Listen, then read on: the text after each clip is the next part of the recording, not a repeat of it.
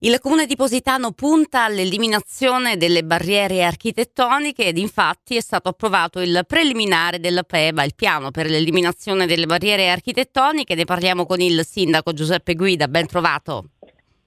Salve, salve a tutti e a tutti gli ascoltatori di Radio Alfa. Allora, un bel lavoro sicuramente quello che vi attende per raggiungere un obiettivo sicuramente prezioso. Esatto, sì, un obiettivo importante che ci siamo posti, cioè quello di rendere la nostra città accessibile a tutti, dove chiaramente nessuno deve sentirsi escluso. Un obiettivo importante, come dicevo, ma anche difficile, ambizioso, data ovviamente la verticalità della nostra città nota a tutti, ma al tempo stesso devo dire un obiettivo nobile, qualificante per Positano, ma eh, sicuramente insomma uh, un obiettivo al quale tutte le amministrazioni dovrebbero tendere. Abbiamo iniziato quindi questa progettazione del PEPA, come diceva giustamente abbiamo approvato il preliminare di questo piano, una progettazione che uh, assume un approccio di senza barriere, perché poi di fatti uh, diciamo, le, le barriere non sono solo fisiche, fisiche ma anche cognitivi, sensoriali, quindi da oggi Positano comincerà a ragionare, a progettare, ad adeguare, a pensare, eliminando quelli che sono gli impedimenti e le barriere architettoniche in modo tale da poter essere una città aperta al mondo intero. Da cosa pensate di partire, questo, di cominciare insomma, questo lavoro che come dicevo non sarà semplice, lei lo ricordava proprio per la, la, la conformazione di, di, Positano che è una realtà splendida ma che appunto insomma, fa i conti con questa posizione sicuramente particolare, ovviamente comune a tanti altri paesi della nostra provincia, ma appunto da dove cerca, tenterete di partire? Ma sicuramente adesso il piano è diviso su, su diversi aspetti.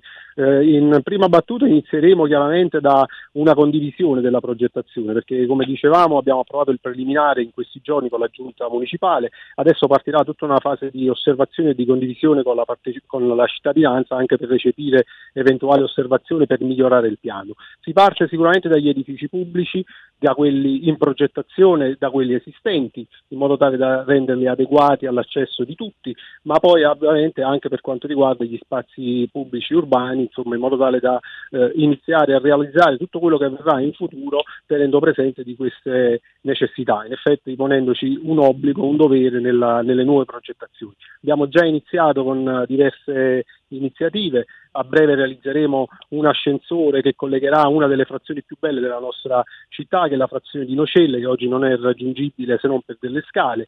Quindi abbiamo appena approvato un progetto per la realizzazione di un vettore meccanico che collegherà la, la provinciale alla, alla, cittadina, al centro proprio della nostra frazione, ma anche interventi di adeguamento del, dei servizi pubblici. Eh, adesso infatti realizzeremo proprio sulla spiaggia un adeguamento dei bagni sarà, eh, con i quali consentiremo anche alle persone disabili di poter accedere.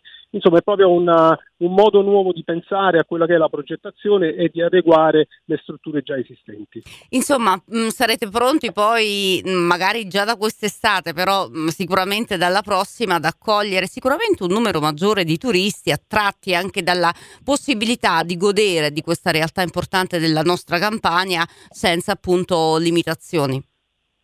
Esatto, sì, questo è un obiettivo che ci siamo posti, anche per quanto riguarda tutti i luoghi della cultura, come dicevo prima, eh, le barriere non sono solamente di natura fisica, ma, ma, anche cognitiva, sensoriale, vorremmo adeguare anche i nostri musei alla possibilità e alla visita anche di persone con altro tipo di disabilità, insomma eh, deve essere sicuramente un obiettivo importante ma qualificante che deve in qualche modo distinguere eh, la nostra città proprio per questo tipo di attenzione particolare e doverosa.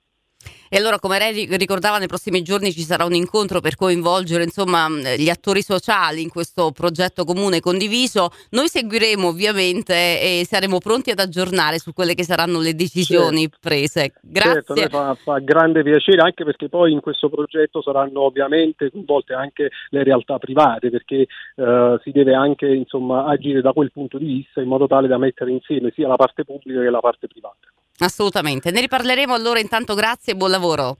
Grazie, grazie a tutti, buona giornata.